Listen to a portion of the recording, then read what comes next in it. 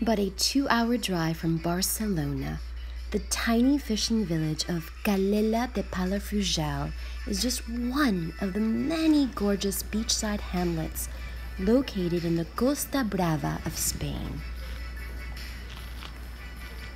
With its white houses, narrow streets, beautiful coves, tiny boutiques, and wonderful restaurants. Oh, and of course, the bluest blues of the Mediterranean. Let me just warn you prepare to fall in love. How beautiful are these views? And I have to check the name because it is Calella de Palafrugell. I am absolutely in love with this place. Just natural beauty.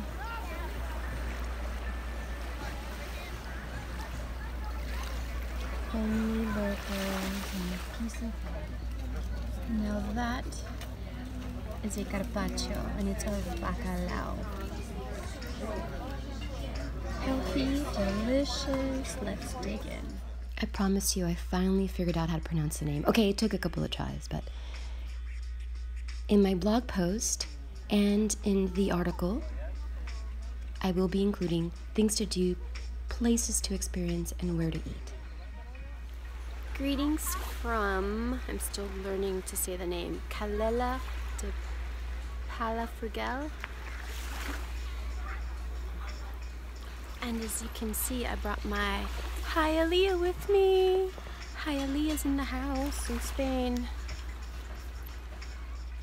And but of course, it was a favorite destination for Gala and Dali.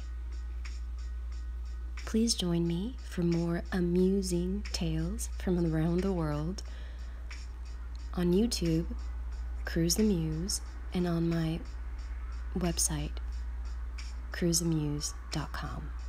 In the meantime, farewell to la Costa Brava. Adiós por el momento la Costa Brava. A definite must to add to your bucket or life list.